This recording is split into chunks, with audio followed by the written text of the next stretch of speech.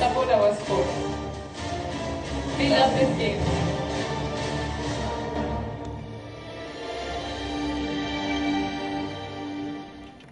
IPL के बाद अब शुरू होने वाला है आईबीएल यानी इंडियन बैडमिंटन लीग जिसमें आईपीएल की तरह ही होने वाली है पैसों की बारिश खास बात है कि आईबीएल बैडमिंटन के इतिहास में सबसे ज़्यादा इनामी राशि वाला टूर्नामेंट होगा कल मुंबई में इसका ऐलान हुआ जहाँ साइना नेहवाल, ज्वाला गुट्टा, अश्विनी पोनप्पा, पी कश्यप और पीवी सिंधु मौजूद थे।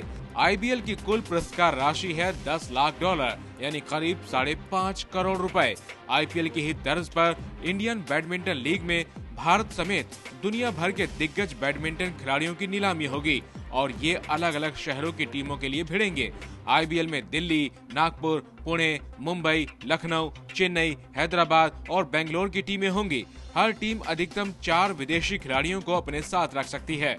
साइना समेत भारत के टॉप खिलाड़ियों को आइकॉन प्लेयर का दर्जा दिया गया है और उनकी बेस प्राइस पचास हज़ार डॉलर, यानी करीब 27 लाख रुपए होगी। ये बैडमिंटन लीग अगले साल 24 जून को शुरू होगा और 11 जुलाई तक चलेगा।